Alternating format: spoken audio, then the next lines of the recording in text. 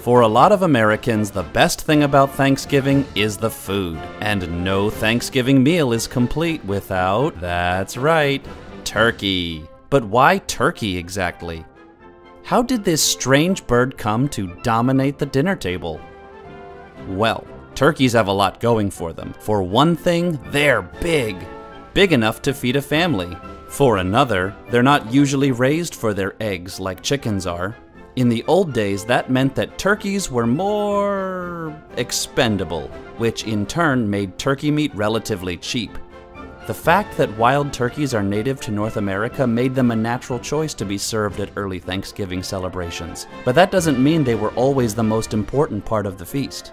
In fact, the event we now think of as the first Thanksgiving may not have had any turkey at all. It's true that the Pilgrims shared a meal with the Wampanoag Indians at Plymouth Colony in 1621. But all we know for sure about the menu is that it included deer and fowl. That fowl might have been turkey, but more likely it was ducks or geese. What's more, that 1621 meal didn't exactly start a trend. Throughout America's early history, some communities did hold ceremonies to give thanks for the fall harvest, and over time, the common turkey did become a popular centerpiece for these occasions. But the so called First Thanksgiving was largely forgotten about until the 19th century when various local traditions inspired the idea of a national celebration.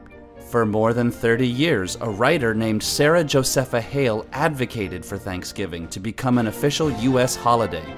Her efforts finally succeeded in 1863 when Abraham Lincoln issued a presidential proclamation. Only then did people begin to think of Thanksgiving as a uniquely American observance. The story of the Pilgrims became closely connected to the holiday, as did, well, the turkey. Even if they weren't served at the first Thanksgiving, turkeys were mentioned in Pilgrims' journals. And at least one founding father was fond of them. Benjamin Franklin touted the turkey as a respectable bird and a true original native of America. By the end of the 19th century, people across the country were calling the holiday Turkey Day. Symbolism aside, it was practicality that ensured the turkey a permanent place on the Thanksgiving table. Through the years, they've remained affordable. They're big enough to feed a family with plenty of leftovers.